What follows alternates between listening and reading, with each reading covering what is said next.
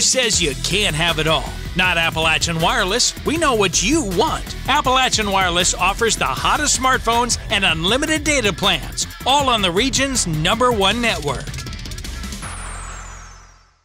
Normally, a student will go to school to learn a skill and then hope they can find a job in that field once they graduate. But a program going on now at Big Sandy Community and Technical College is working backwards from that model. In this case, the employer comes to the school and asks for students to be trained. And the best part is it's all free to the students. This week, 17 people are taking a week long condensed course to be licensed insurance agents in the state of Kentucky. Well, when we come back from break, what we're going to do is transition over into the commercial side of the course.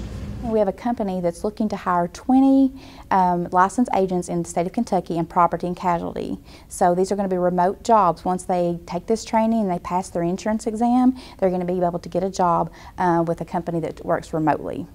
The class is part of a program called Digital Careers Now that is funded by a $3.5 million grant from the Appalachian Regional Commission, which is focused on putting people who want to work into jobs as quickly as possible. So the model of this is to do a fast track training program for ready-made jobs. So you have an employer looking to hire people, you have people wanting to work, but there's that barrier of that fast track training that's not, you know, they can't meet. So our goal is to bust that barrier.